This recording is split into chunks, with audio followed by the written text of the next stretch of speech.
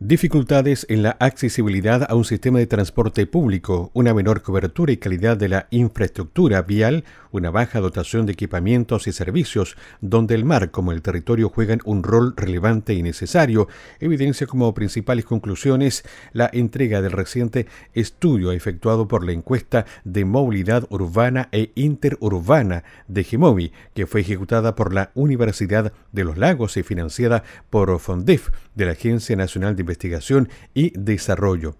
Esta encuesta piloto de movilidad aplicada a las comunas de Chiloé en investigación fue desarrollada durante los años 2019 y 2020. Incluyó la aplicación de 300 encuestas en hogares y 398 en puntos estratégicos del transporte público terrestre y marítimo. Eh, a través de la encuesta que hoy día mostramos, mostramos que existe otro Chile, ¿verdad?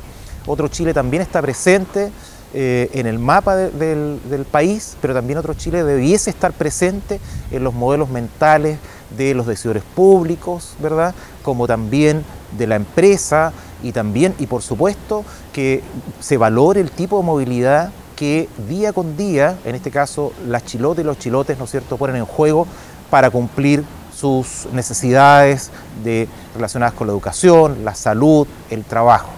De manera tal que esta primera encuesta sobre movilidad urbana e interurbana permite conocer este otro Chile, muchas veces invisibilizado. Acá no hay carreteras, aquí tenemos un mar interior y a través de este mar interior se mueven las lanchas, ¿verdad?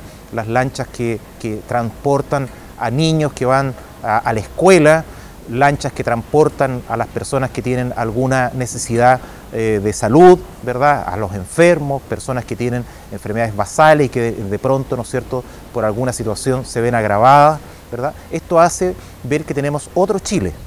Pensar en la cotidianidad, eh, en la movilidad desde un punto de vista de la cotidianidad más bien, permite eh, ayudar a mejorar las políticas públicas a nivel subnacional, que se ejercen desde los municipios y por sobre todo ponerle un rostro humano a, esas políticas, ¿no es cierto?, que se pueden desarrollar eh, para lograr una mejor calidad de vida para, en este caso, las isleñas y los isleños.